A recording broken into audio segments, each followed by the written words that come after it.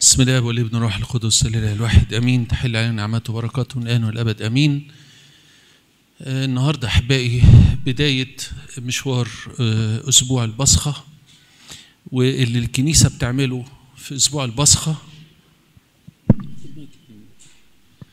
الكنيسة بتعمله في أسبوع البصخة إنها بتشارك الرب يسوع. بتسير معه خطوة بخطوة.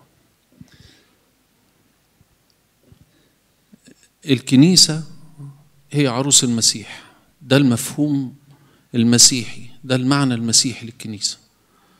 فتخيلوا كده لما يكون في شخص يعني بعيد عنكم مريض ولا تعبان مراته بتبقى عاملة إزاي؟ بتبقى تحت رجليه بتخدمه لأن دي فترة ألمه. فالرب يسوع هو عريس الكنيسة. فالرب يسوع هذا الأسبوع يمر بآلام والكنيسة أيضا تتألم معه. والحقيقة لو إحنا فكرنا فيها بعمق شوية هنلاقي الموضوع معكوس. هو إحنا اللي كنا بنمر بالآلام فهو اللي جه عشان يتألم معنا. مش إحنا اللي بنتألم معه هو اللي جه علشان يتألم من أجلنا. هو الغير متألم لبس جسدا قابل للألم من أجلنا. هو الغير مائت لبس جسدا قابل للموت من أجلنا. فإذا كان هو فعل هذا من أجلنا فماذا نفعل نحن؟ قديس مقريس الكبير كده له عبارة يقول إذا كان العريس قد جاز كل هذه الآلام من أجلنا فهل تجلس العروس متهاونة ومتكاسلة ومتباعدة؟ عشان كده الكنيسة بتكرس هذا الأسبوع. كان في الأزمنة الأولى الأسبوع ده أجازة كاملة. ناس تاخد أجازات وتقضي الليل والنهار في الكنيسة.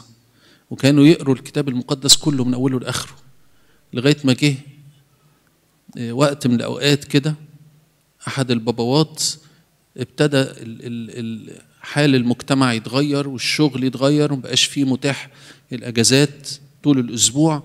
فعمل لجنة وجمع فيها أراخنة الكنيسة وكبار الكنيسة وعلماء الكنيسة فابتدوا يختصروا القراءات. بدل ما نقرأ الإنجيل كله من أوله لآخره ابتدينا نختصر القراءات. اللجنة دي عملت إيه؟ بإرشاد الروح القدس طبعا. ابتدت تجمع القراءات وتشوف إيه اللي ممكن يناسب حدث اليوم وتحطه. فاختصرت القراءات. ما بقيش بنقرأ الإنجيل من أوله لآخره بقينا بنقرأ العهد القديم والجديد يعني من اوله لاخره لا بقينا بنقرأ بعض القراءات وبعض النبوات اللي هي دلال أسبوع الألام اللي موجود بين إيدينا دلوقتي واللي بنقراه دلوقتي. الترتيب بتاعه ماشي إزاي؟ ماشي إن إحنا بنشوف ربنا يسوع المسيح عمل إيه النهارده؟ إيه الخطوة اللي اتعملت. وبيشوفوا النبوات اللي بتشير للكلام ده يجيبوا النبوات. فتصبح الصلوة أو الساعة السواعي عبارة عن نبوة بتتكلم عن الإنجيل. وبعدين مزمور بيتكلم عن الإنجيل المزمور نبوات برضه وبعدين الإنجيل. وبعد كده حاجة اسمها الطرح. الطرح هو شرح للإنجيل لأن الإنجيل كان بيقرأ باللغة القبطية فالطرح يقرأ باللغة العربية يشرح إيه اللي في الإنجيل. وبعد كده بنسبح تسبيحة سكتة جوم لأن الحقيقة الأسبوع ده أساس عملنا في الكنيسة هو التسبيح في عبرانيين 12 يقول كده أن يسوع نفسه لكي يقدس الشعب بدم نفسه خرج إلى خارج الباب ليتألم. ويقول لنا كده كاتب رسالة عبرانيين لنخرج إذن إليه حاملين عاره ونقدم ثمرة شفاهنا ذبيحة التسبيح.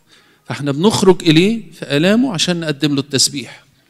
الكنيسه تؤمن أحبائي إن المسيح على الصليب هو رئيس كهنة رئيس كهنة. المسيح على الصليب مش في حالة ضعف ده في حالة قوة. ملك على خشبة.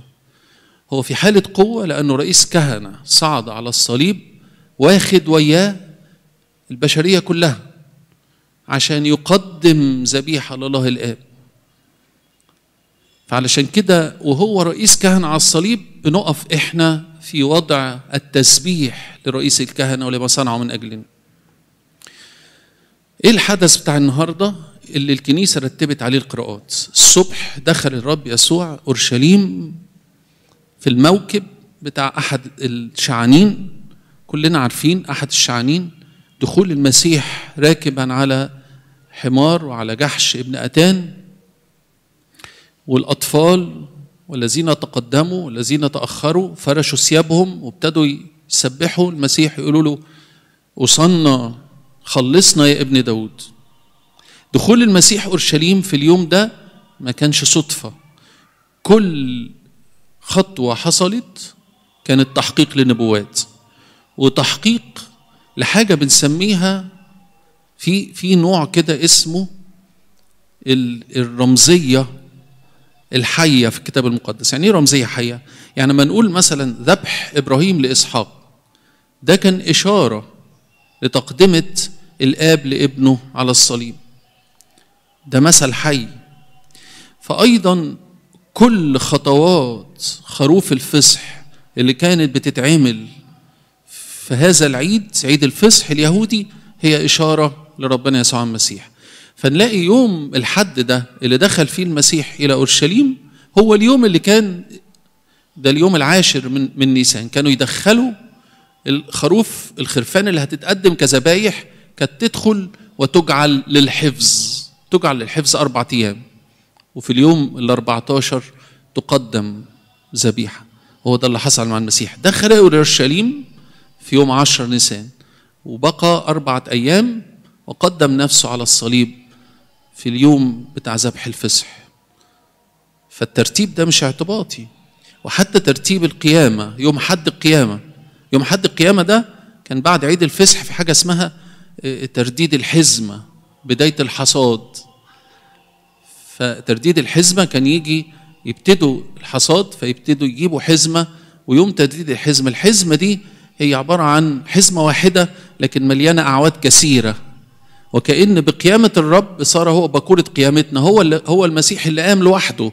لكن في قيامته قيامة الجميع لأن هو عامل زي هو واحد صحيح بس عامل زي الحزمة اللي بتحوي فيها كل الأعواد اللي جواها. لو نقعد نتأمل في الترتيب وإزاي عمل الروح القدس إنه خلى كل حدث يحصل هو تحقيق لأنه الرب يسوع المسيح هو فصحنا الذي صلب لأجلنا. هو الظل والحقيقة العهد القديم والعهد الجديد الرموز اللي كانت موجودة كلها تحققت في المسيح. فالنهاردة لما دخل أورشليم الصبح زي خروف الفصح ما بيخش للحفظ في اليوم العاشر دخل أيضا هو إلى أورشليم وبقى في أورشليم حتى الصلب. إيه اللي كان بيعمله؟ كان الصبح يقضي طول النهار في أورشليم في الهيكل يعلم ويتكلم. الأمثلة الأخيرة اللي قالها والأحداث الأخيرة اللي حصلت كل حاجة فيها الكنيسة بتجيبها تحطها ونقرب منها ونفهمها ونجيب نبوات بتتكلم عليها خلال الأسبوع ده. وآخر النهار يذهب إلى بيت عنيا القريب من أورشليم ليبيت هناك. فالنهاردة حصل كده. دخل أورشليم الصبح وبعدين فيما هو في الطريق إلى بيت عنيا بقى بعد الظهرية وهو رايح عشان يبيت هناك حصل شوية أحاديث بينه وبين تلاميذه. الأحاديث دي هي موضوع هذه الليلة أول يعني لو لو نشوف قد إيه الأحاديث حطها الكنيسة جنب بعض كده بصورة يعني رائعة. أول ساعة من ساعات اليوم هي الساعة الأولى من ليلة الاثنين. الإنجيل من يوحنا 12 هقول لكم العناصر بس بتاعت الإنجيل إيه؟ وده إيه معناه لينا إحنا؟ يقول كده إيه؟ على فكرة إنجيل يوحنا الإصحاح ال 12 الإنجيل اللي بيتقرأ النهاردة ده من أول عدد 20 لو ترجعوا كام عدد لورا هتلاقوا دخول المسيح أورشليم وبعد ما خلصت الزفة وخلص ده كله يقول كده وكان قوم من اليونانيين الذين صعدوا ليسجدوا في العيد جاءوا إلى فيلبس واحد من تلاميذ المسيح وقالوا له يا سيد نريد أن نرى يسوع. يبقى نمرة واحد حصل النهارده. الحدث اللي حصل إيه؟ إن الناس ابتدت تسمع عن يسوع. مين يسوع؟ يسوع ده الذي أقام لعازر يسوع ده اللي بيعمل معجزات. يسوع الذي يعلم كمن له سلطان وليس كالكتبة والفريسيين. الكتبة والفريسيين كانوا مفسرين للكتب على قدر استطاعتهم لكن المسيح لما كان بيعلم كان بيقول لهم إيه؟ أما أنا فأقول لكم الحق الحق أقول لكم بيعلم له سلطان. يقول لهم سمعتوا أنه قيل لكم. عين بعين وسن بسن. أما أنا فأقول لكم أنت مين؟ آه أنا هو أنا هو. أنا هو ابن الله. فهو له سلطان. عشان كده كان يعلم كمن له سلطان. فهم ابتدت الناس بقى تيجي العيد السنة دي وسمع عن يسوع. طب عايزين إيه؟ نريد أن نرى يسوع. ده أول حاجة حصلت. وهم التلاميذ كانوا بيقولوا للمسيح هو أنت نازل العيد السنة دي؟ ده الناس كلها سمعت عنك وعايزة تجيلك وفي شغب كبير رؤساء الكهنة والجنود والكتبة والفريسيين حانقين عليك ومتضايقين منك وعايزين يسلموك للموت. هتنزل عيد. فقال لهم إلى هذه الساعة أنا أتيت ونزل إلى العيد. فأول حاجة أول ملمح بعد الزفة ما خلصت بتاعت الصبح والضجة اللي حصلت في أورشليم كل اللي جايين للعيد ابتدوا يتساءلوا فين يسوع؟ نريد أن نرى يسوع. تاني حاجة ابتدى ربنا يسوع المسيح يجاوبهم إجابة مهمة بقى إحنا هنفهمها. قال لهم قد أتت الساعة ليتمجد ابن الإنسان. وقال لهم بقى مثل نفسي كلنا نحفظه.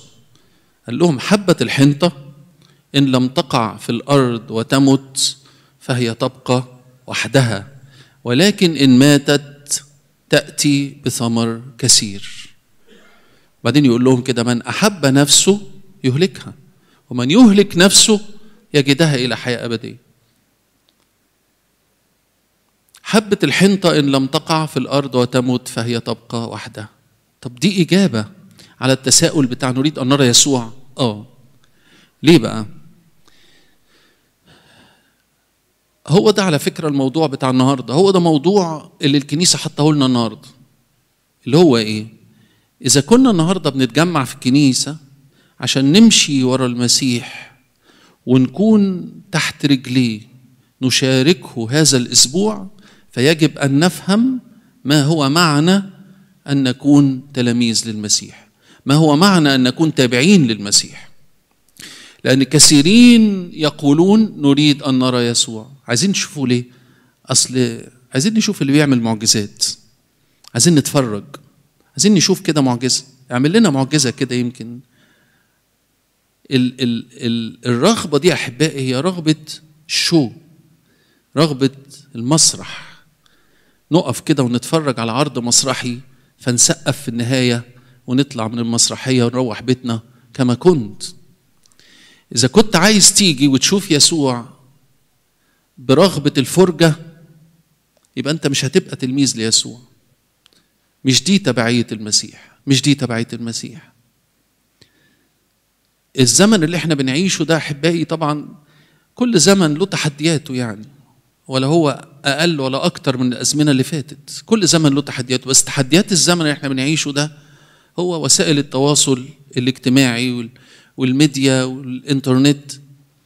حول الحياة من حياة حقيقية إلى حياة افتراضية.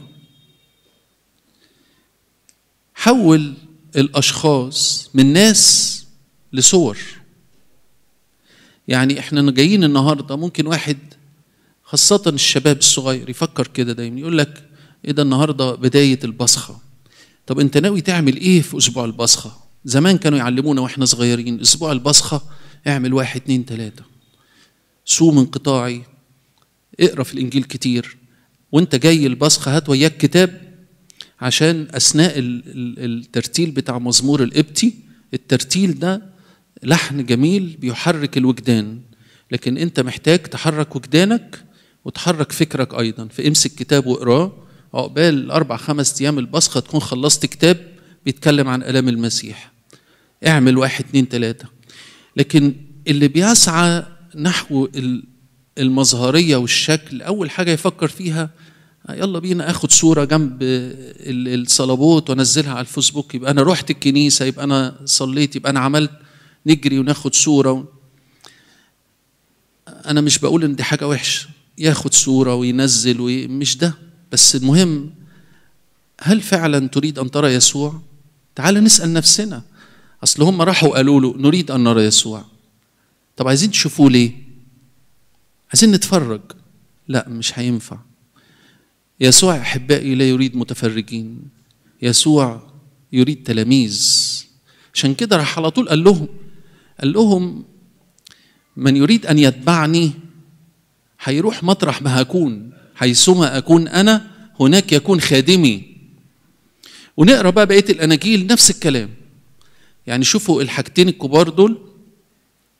نريد أن نرى يسوع وانه ربنا يسوع المسيح يجاوبهم يقول لهم إنه طريق ابن الإنسان هو طريق الألام. فاللي عايز يمشي ورايا يبقى عنده استعداد يتحمل الألم. عنده استعداد يتحمل الالم عنده استعداد يشيل صليب. عايز تبقى تلميذ لازم هتكون مطرح ما هيكون سيدك. سيدك اتألم هتتألم زيه. سيدك اتحمل هتتحمل زيه. سيدك بيغفر اتعلم تغفر. كتير أحبائي نقف قدام حد ونتكلم في موقف مع ناس ونقول لهم أنت لازم تغفر لأن المسيح غفر. فيقول لك أصل أنا مش المسيح. ده المسيح يغفر لكن أنا لا. هنا بنعمل فصل بيننا وبين المسيح مع إن ده أساس إيماننا المسيحي إن مفيش فصل بيننا وبينه. إن ما صنعه المسيح نصنعه نحن أيضا بنعمته طبعا بنعمته هو بيدينا نعمة. أساس المسيحية أن نتشبه بالمسيح على قدر طاقتنا أن نحيا تلاميذ له أن نتبعه. تبعية المسيح أحبائي حاجة جد مشوار جد. تبعية المسيح فيها رهبة. بقية الأناجيل كده في إنجيل من الأناجيل يقول كده إنما بينما هم يتبعونه بدأوا يخافون. تلاميذ هم ماشيين معاه ابتدوا يخافوا. ده داخل أورشليم الموضوع ابتدى يخش في الجد. وفي كل الأناجيل بتاعت النهارده الخمس أناجيل صرح ربنا يسوع المسيح ليهم وقال لهم كده ابن الإنسان يسلم ليصلب فالكنيسة النهارده تركز على هذا التصريح. ابن الإنسان يسلم ليصلب أنا أنا داخل أورشليم علشان أجتاز طريق الآلام. عاوزين إيه؟ تيجوا معايا؟ هتتحملوا الألم معايا. هتجتازوا الألم معايا. تبعية المسيح محتاجة استعداد للتألم. في قصص كتير في العهد القديم بتشير لكده إن التبعية مش سامحوني في الكلمة مش نمشي في الزفة. في مرة واحد اسمه جدعون في العهد القديم سفر القضاه هيطلع يحارب باسم الرب.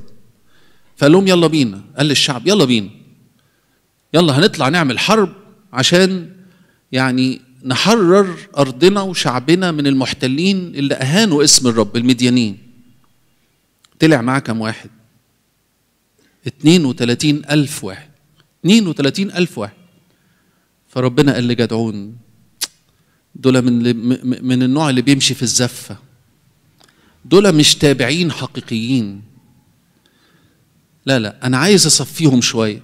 فجدعون قال عبارة قال لهم يا جماعة اللي خايف يروح. نفس النص كده. قال لهم اللي منكم خايف يمشي. مشي قد إيه؟ 22 ألف. مشوا. يعني إحنا جايين بس عشان خاطر أصل يعني مش معقول في حرب وفي والشعب بيحارب. يقولوا عليا جبان لو قعدت في البيت يعني فأنا هاجي هطلع كده هقف وياهم بس هقف من بعيد كده عشان خاطر إيه؟ الحرب ما تجيش عليا أنا. تيجي للصفوف القدامانية هستخبى ورا. فجدعون قال لهم لا. اللي خايف يمشي. مش 22 ألف. فضل 10000 ربنا قال له كتير عليا. مش عاوزهم دول. طب ليه يا رب؟ قال لك أصل لو حاربنا المديانين بعدد كبير يقول لك أصل أنتوا ألافات فكسبتوا. أنا مش عايز كده. أنا عاوز الناس تفهم إن الحرب للرب كتير. فقال له على حاجة كده يعملها. قال له روح كده عند المية عشان الشعب شايلين أسلحتهم والسيوف فهينزلوا عشان يشربوا. وراقبهم. شوف كده استعدادهم إيه. هيبان. وأنا هقول لك على علامة. هديك علامة. واداله علامة. قال له شوفهم هيشربوا إزاي من المية.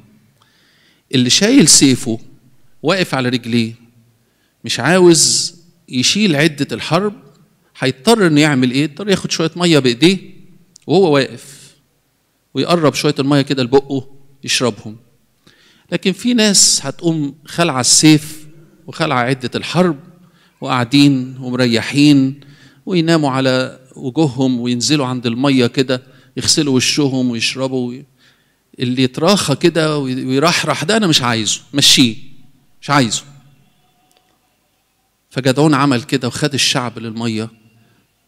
فضل قد إيه؟ مشيوا كلهم العشر تلاف فضل قد إيه؟ 300 واحد بس. فربنا قال له هم دول أنا عايز دول أنا عايز دول. قديس أغسطينوس له تأمل كده يقول رقم 300 في اللغة الأرامية بيساوي حرف التاو اللي هو التي الصليب. فقديس اغسطينوس يتامل يقول رقم 300 علامة الصليب. أنا التابعين هم فقط المستعدون لحمل الصليب. قصة شبيهة بكده في حسقيال حسقيال شاف رؤى كتير. عشان أورشليم كانت في أيام صعبة وخطايا عايشين في خطايا كتير فكان جاي عليهم السبي وجاي عليهم فشاف رؤى. فمن ضمن الرؤى شاف رؤية لست رجال كان من ضمنهم واحد وبيقول كده إيه؟ ادخل إلى المدينة وسم سمة على جباه الرجال الذين يئنون بسبب خطايا الشعب. يعني شوف الناس اللي جوه قلوبهم في توبة حقيقية في أنين حقيقي وحط سمة على جباههم سم سمة يعني حط علامة على جباههم كلمة سمة برضو في اللغة الأصلية معناها التاو دي حرف الصليب علامة الصليب. برضو الآباء يتأملوا فيها يقول لك إن ده حط علامة الصليب على الناس دول. أصل الناس دول عايشين الصليب. هم دول اللي هينجوا قصص كتيرة أحبائي تورينا إزاي تبعية المسيح استعداد لتحمل الألم. عشان كده المثل اللي قاله المسيح ده لازم يبقى منهج حياة لينا. حبة الحنطة إن لم تقع في الأرض وتمت فهي تبقى وحدها. أنت عاوز إيه؟ عاوز تقع وتموت ستأتي بثمر كثير. عاوز خايف من الموت عايز تتراجع لورا خايف تقدم خايف تخسر خايف تتعب خايف تبذل خايف تشيل صليب خايف تتخلى وتستغنى عن بعض الأمور في حياتك. عايز تتراجع؟ ستبقى. بس زي ما بيقول المسيح كده تبقى وحدها تبقى وحدها بلا ثمر. تبقى وحدها بلا ثمر. أحد الأدباء كتب قصة عن حبة الحنطة قصة رمزية. عشان يوضح لنا المثل يعني. فبيقول كده إن كان في حبة حنطة مبسوطة وفرحانة. تشكر ربنا كل يوم. كل يوم تشكر ربنا. يا رب أشكرك. أنا قاعدة في المخزن بتاع الفلاح مرتاحة ومبسوطة. حوالين مني بقيت إخواتي حبوب الحنطة مرتاحين جدا.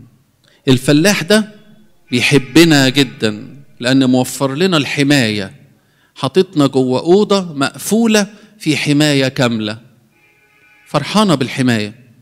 في يوم من الأيام جه الفلاح واخد حبة الحنطة مع حبوب أخرى وطلع علشان يزرعهم. فأول ما رماهم على وش الحقل حبه الحنطة شافت النور والشمس ففرحت. قالت يا سلام ده أكيد بيحبنا الفلاح بيحبنا فحب إيه؟ يهوينا شوية كده ويشمسنا وبعدين يرجعنا تاني يحطنا في المكان الأمان على الرف. لكن الفلاح بعد شوية راح جه وابتدى يدوس على حبة الحنطة ويدفنها جوه الأرض. فابتدت حبة الحنطة تختبر نوع جديد من العلاقة مع الفلاح. ما كانتش فاهماه. ابتدت تقول إيه ده؟ هو بيعمل إيه؟ بيدوس علينا بيدخلنا أكيد هيرجع في كلامه. أكيد هيسحبنا تاني ويرجعنا في المكان الأمان. ولكن الفلاح لم يتراجع وداس عليها ودفنها تحت الأرض. فابتدت حبة الحنطة تصرخ. الحقوني أنا بموت. أنا بتخنق. الحقوني حياتي بتنتهي. وابتدت تقول ليه؟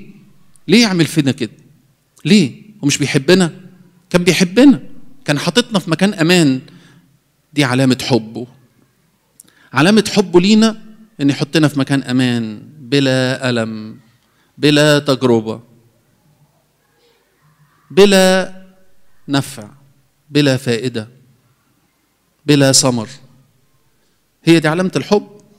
مش دي علامة الحب. يقول بقية القصة إن بعد ما حبت الحنطة ابتدى الرطوبة تدخل إليها وابتدت القشرة الخارجية تتمدد وتنفجر وتتألم حبة الحنطة من هذا الموت. بعد شوية ابتدت تخرج جدر وابتدى يخرج نبتة خضراء جميلة طلعت فوق وش الأرض. فابتدت حبة الحنطة تختبر حياة جديدة لم تألفها. ابتدت تقول إيه ده؟ لأ ده الحياة دي مختلفة تماما عن حياة الرف على المخزن. أنا كنت فاهم غلط. كنت فاهم إن هو مش بيحبني. دلوقتي فهمت. الآن عرفت. أيوب قال كده أحبائي. على فكرة سفر أيوب بيتقرأ طول الصوم الكبير. كل السفر تقريبا بيتقرأ.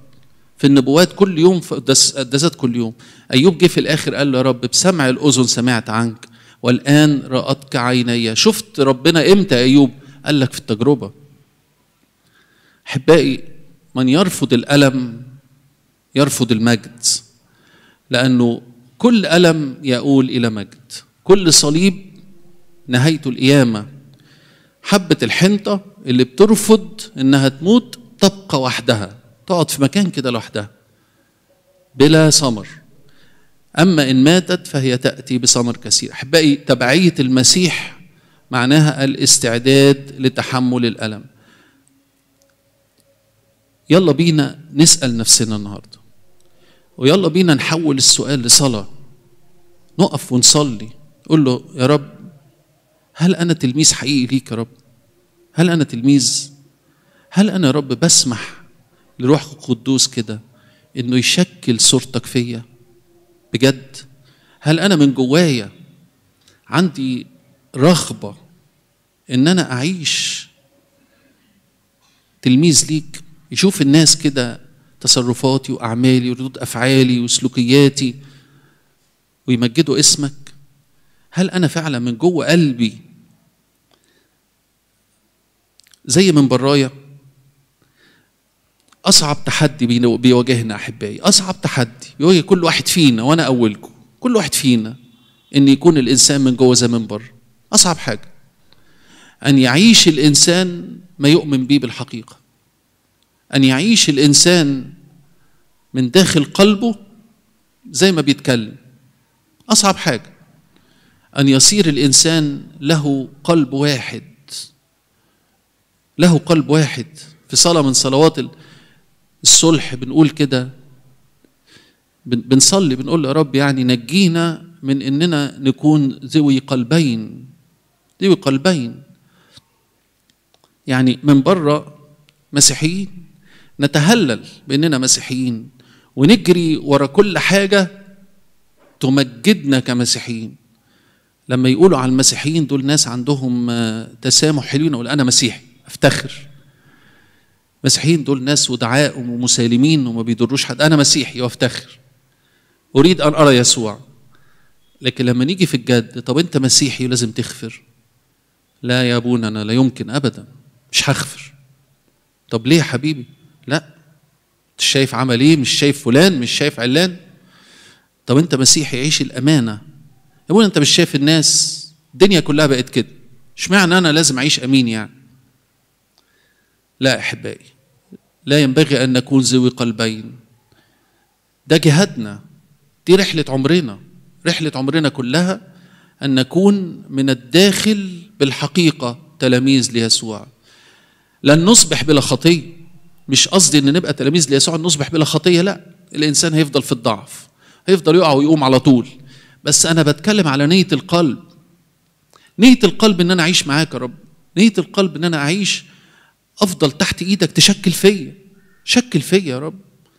أحبائي تلمذة للمسيح معناها تشكيل تشكيل مؤلم مؤلم لكنه مبهج في النهاية مفرح في النهاية. النهارده اللي جايين يمشوا في الزفة. قالوا الفيلبس نريد أن نرى يسوع. لكن يسوع في الإنجيل الثاني اللي وراه على طول يقول لهم من يقول الناس إني أنا؟ وبعدين طب وأنتوا؟ ماذا تقولون؟ أصل أنتوا مختلفين. اللي جاي في الزفة ده حاجة وتلميذ المسيح حاجة تانية. فبطرس قال له أنت هو المسيح ابن الله؟ قال له طوباك يا, يا سمعان ابن يونا. لكن بعد شوية لما ابتدي يتكلم ابن الإنسان يسلم ليصلب. بطرس ده نفسه جاي يقول له إيه؟ حشاك يا رب أن تصلب. يقول لك أخذه إليه وابتدأ ينتهر. بطرس بيكلم المسيح بيقول له إزاي تقول الكلام ده؟ المسيح اللي إحنا نعرفه هو اللي مشي على المية هو اللي أقام الموتى هو اللي إحنا دايما نقول له كده أنت هتبقى ملك وإحنا نجلس عن يمينك وعن يسارك.